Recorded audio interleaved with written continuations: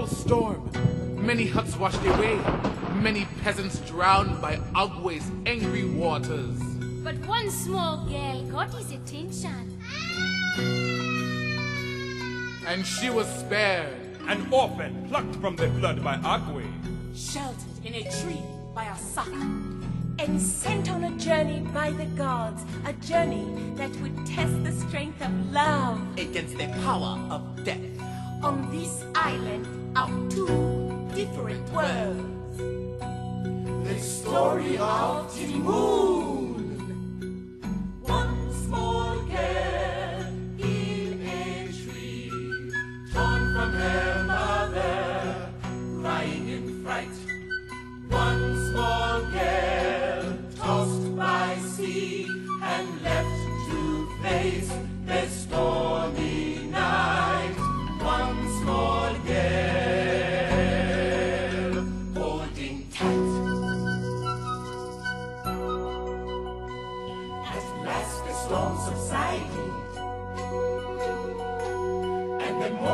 Sun glowed, and two old peasants came cautiously down the road. Mama Euralie. Tonton Julian. Asaka is smiling again, Julian. This morning she smiles. Last night she tried to blow our heads off. Oh, Julian, just listen to the birds.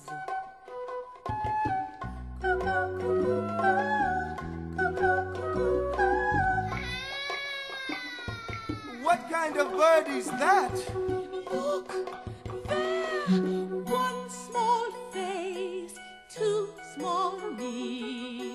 Why are you up there? What is your name? The girl can't speak. And they're to blame. Agwe probably meant to kill her. Then she'd be dead. It's possible he forgot. The gods don't forget. Then they had some reason to spare her life. It's best that we don't know what.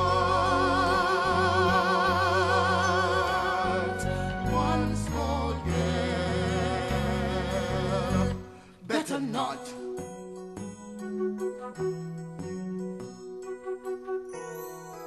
But we are too old for children. And we have no room and no food. And not knowing quite why, they followed their hearts back to the tree, gently lifted the terrified child down, No! and discovered she could speak after all. One small girl In their way, Constantly hungry. Learning too quick.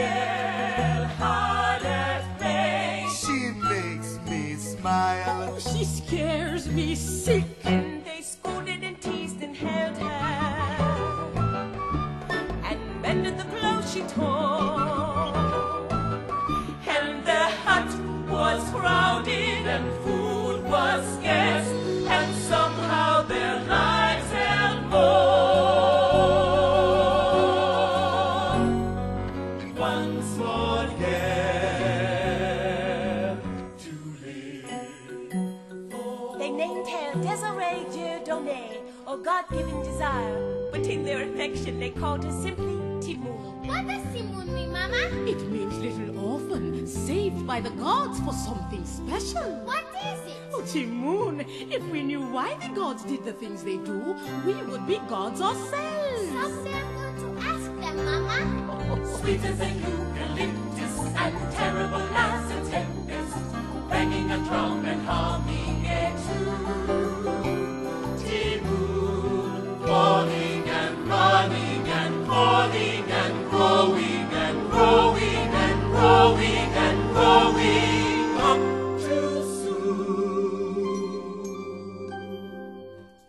one small girl, not so small, lost in those daydreams, day after day.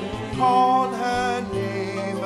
No, don't call her. Ears don't hear. She's far away, and I know that she's getting older. I know that it's meant to be, and my eyes arms can't hold her and keep her small, but all that